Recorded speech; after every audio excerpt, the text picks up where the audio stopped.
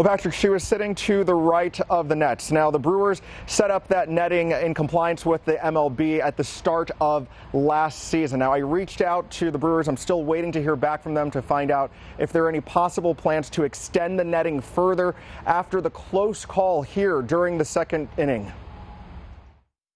The bat was like flying. Opening day 2017 is a game Olivia Rechlitz likely won't ever forget. She was sitting behind the dugout in the middle of all the action. Got him. All of a sudden, my husband reached over me, spilled the soda, and kind of deflected the bat a little bit from the kids. It was scary at the moment. I was wondering if it was going to hit me in the head or Olivia in the head. So I tried to protect her and hit my arm and ricocheted and hit her in the knee. Was it scary for you? Yes, very scary. And how bad did it hurt?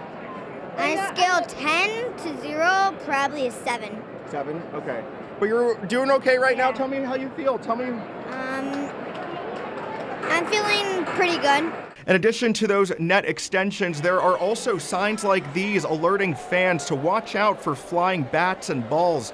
After a doctor checked her out, Olivia came right back to her seat to watch the rest of the game. Do you guys think you'll come back for any other games? Um, yeah, definitely. Are you going to sit in any other areas?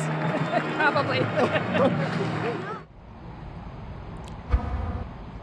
All right, and while the Major League Baseball did make those recommendations about extending the nets, uh, they did not give any specific length. They, since every stadium is different, they left it up to the discretion of the individual teams to balance safety with fans' desires to catch foul balls. Reporting live here at Miller Park, I'm Sheldon Dutes, WISN 12 News. Good to see.